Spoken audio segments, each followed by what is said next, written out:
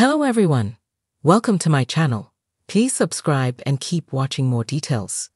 Emmerdale reveals a first look at Lydia Dingle's return to the village. Emmerdale has unveiled the first look at Lydia Dingle's return to the long-running ITV soap.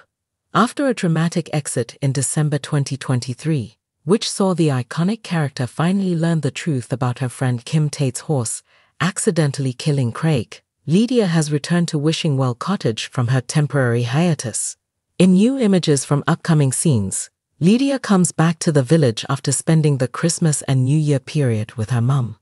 Part of Lydia's exit was due to Kim lying about Craig's death. She left after Kim confessed, and now her friend is determined to get their relationship back on track. Despite Lydia's initial reluctance to reform their friendship, Kim's stubbornness begins to wear her down. Is Lydia finally one step closer to forgiving Kim?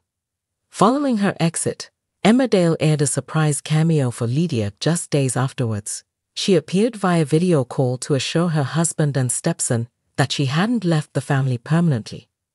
Elsewhere on Emmerdale, the outcome of the Christmas Day death drama has been revealed.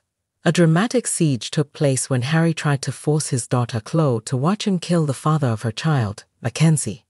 However, Charity and Chas Dingle followed him to the factory where he was holding Mac hostage. Charity got into a scuffle with him, and a gun went off, killing the gangster.